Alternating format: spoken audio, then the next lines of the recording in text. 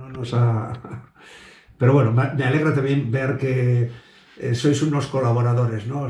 Veo por ahí Hugo y Francisca, ¿no? Muy bien, pues os respondo. Eh, a ver, mm, yo descubrí el coco, yo creo que desde que apareció, no sé si hace más de un año, en el 19 fue o cuándo fue. Un año y medio, sí, la descubrí eh, y me pareció, la comparé con alguna otra, yo creo que había alguna que, era previa, quizás Yuca, ¿no? Me parece. Igual, Yuca era anterior, no me había gustado, yo soy un, eh, beta tester, pruebo eh, cosas distintas y esta la verdad es que me gustó porque en algunos cursos de formación que doy para distintos colectivos, que a veces son para personas mayores, porque estoy, ahora que me he retirado de la vida activa y he dejado un poco los temas de innovación educativa, porque al estar fuera de la administración, pues eh, no sé si es más fácil o más difícil, la verdad es que igual es hasta más fácil hacer cambios, y, he descubierto, pues aquí hay una gran movilización en, en Vizcaya de, los jubilados, pero de una forma bastante poco proactiva. Y entonces eh, me he dedicado a, tratarles de, de, generar y que alcancen mayores competencias digitales para poder intervenir y seguir teniendo una presencia. Y en muchos de estos cursos de formación, están anunciados en el blog varios, se pueden ver enteros, ¿eh? las presentaciones, incluso las grabaciones que he dado, eh, hablo muchas veces de las aplicaciones, ¿no? aplicaciones de los móviles, para que se den cuenta del poder que llevan en el bolsillo, ¿no? que es peor que te roben el móvil, hay más información en tu móvil que en tu casa. O sea, yo prefiero eh, que entren en casa y desvalijen, no sé, la documentación que tengo que no mi móvil. Y, ahí siempre les hablo, os, mandaré luego, no sé si tengo un mail vuestro, me lo facilitáis. Ah, lo tengo donde me convocasteis. Creo que fuiste tú, Hugo, el que escribió, ¿no? Entonces, te mandaré alguna imagen de, la app, eh, también como, bueno, pues la tengo aquí, eh, es la única app, digamos, que utilizo.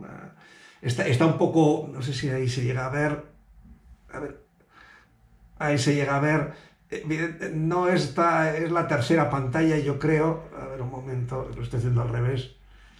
Esta es la primera pantalla, vamos a ponerlo así. Bueno, no sé, es la tercera pantalla, pero bueno, me parece interesante la.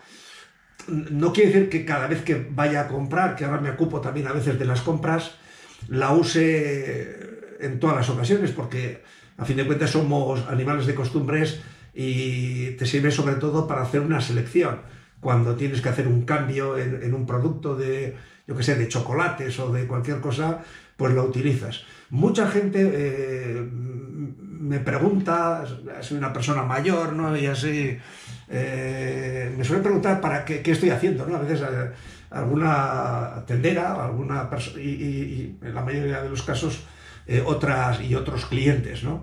Y les interesa bastante utilizarlo. Les, el nombre que está bien elegido, yo creo que está bien elegido, pero les confunde un poco a veces, ¿no? El coco, pero eso que es, es de broma o tal, no es el consumidor consciente y es fácil de recordar. Y eh, tengo buenos amigos que la han, eh, la han empezado a utilizar. Algunos son auténticos maniáticos de la comida, ¿no? De estos, de la comida, del cuidado personal, de quieren vivir mil años. Yo no soy tan obsesivo porque, como habéis visto, soy más eh, panteísta en mis hobbies. O sea, la verdad es que casi no hay hobby que no practique, ¿no? Entonces no soy muy...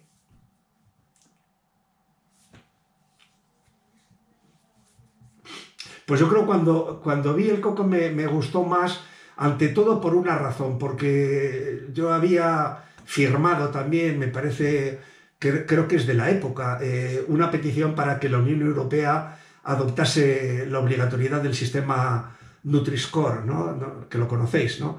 Entonces, la verdad es que bueno, eh, me gustó el que dos cosas. Bueno, eh, casi todos utilizan como una de las referencias al menos este sistema, pero me gustó porque soy un defensor del software libre y de, la, y de los proyectos, digamos, participativos, que es un proyecto autofinanciado, independiente, eh, y eso me da una garantía, ¿no? Porque creo o, tengo dudas de si Yuka y My Real Food son, eh, no pueden ser susceptibles de aceptar eh, ciertos patrocinios, ¿no? Entonces me gustan ambas cosas. Solo utilizo mis videoconferencias pues son con siempre software libre, soy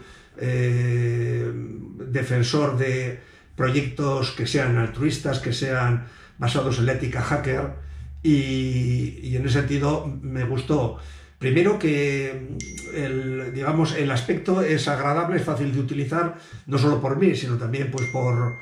Mi mujer es una de las primeras informáticas, licenciada en informática de España, y en el año 76 se, bueno, y ella es bastante usuaria, también mis hijos o mis nietos, pero a mis nietos que son de edades desde los 10 hasta los 2 años, también les gustaba verlo. Entonces me parece que es divertido, es, eh, tiene unos códigos también cromáticos que lo hacen sencillo, que la gente no tiene por qué leer la letra pequeña, sino, sino casi casi ir pasando entre las dudas que puede tener y, valorarlo.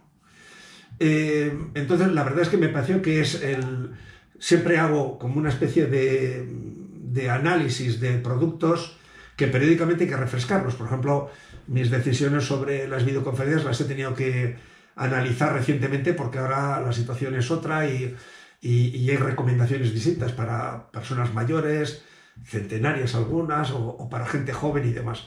Entonces la verdad es que el, Coco es la aplicación que dejé.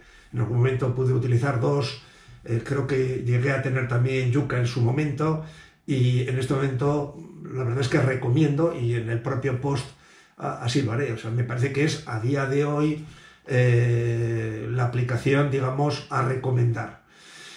Hay cosas que, mm, o sea, eh, hay algo que puede disuadir aspectos de mejora, es que todavía se encuentran bastantes productos que no están, que obviamente no están, y somos los usuarios los que podemos enriquecer la base de datos, pero todavía mm, es bastante decepcionante, es lo, también el, el input que me hacen llegar que hay bastante gente que me dice que, bueno, pues que, no funciona, que, que prueba con cosas bastante comunes en nuestros...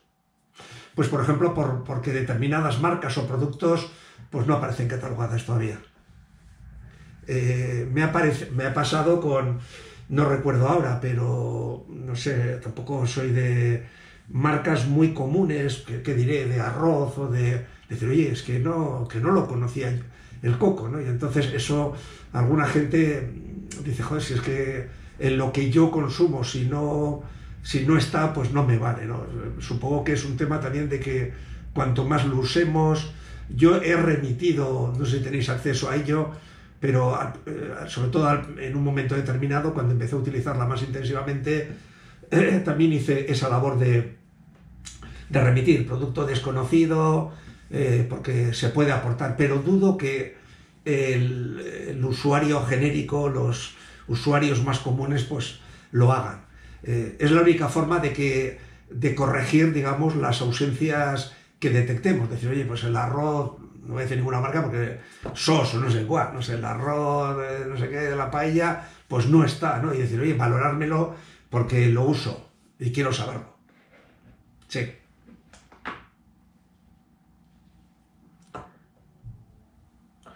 Sí, sí, sí, sí, ya, digo que lo he hecho, yo creo que lo hice, no sé, eh, no quiero exagerar, serían igual 10 productos o algo así, pero sí, sí que lo, sí que lo estuve completando y, pero vamos, insisto que es algo que excepto que la gente,